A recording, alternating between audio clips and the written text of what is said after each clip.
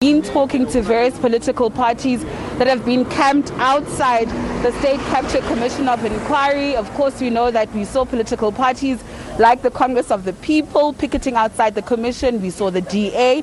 We've spoken to them. Now we've got uh, Herman Mashaba's political party, Action SA, and we actually talked to uh, some of the members, but I'm joined by Zack Lebatlang, who's a campaign manager, constituency campaign manager of uh, the newly formed party. Thank you so much for joining us at SABC News.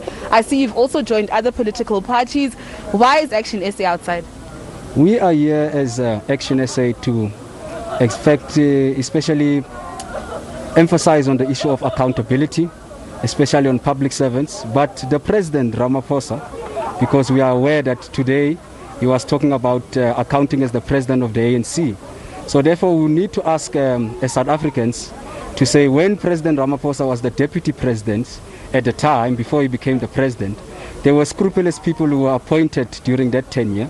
You go to Bathabile Dlamini, you go to people like um, Fikile Mbalula, uh, Zizi Kodwa. These people are in serious allegation of looting and state capture.